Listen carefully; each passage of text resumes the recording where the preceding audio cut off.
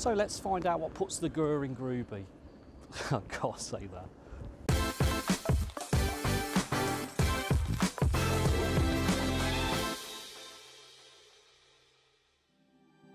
So today I'm at Groby, which is a village to the west of Leicester.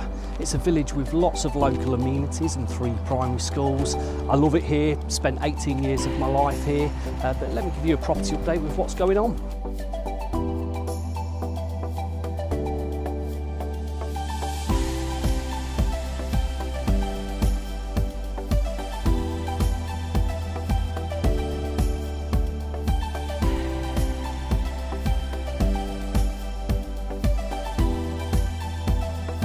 So what's been going on in the Groby property market? Well, property prices are 5% down year on year, which is quite a surprise.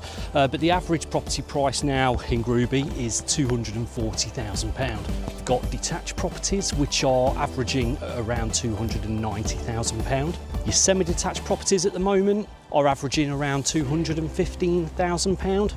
And your terrace properties, you're looking at around £190,000. And at the moment, there's 62 properties that are on the market at the moment, with only 15 of those left available. So it just goes to show that the properties really do sell here in this village. So just remember, if you do want a valuation on your property, feel free to drop me a message or give me a call, and I'll be more than happy to come and visit you. Have a great day.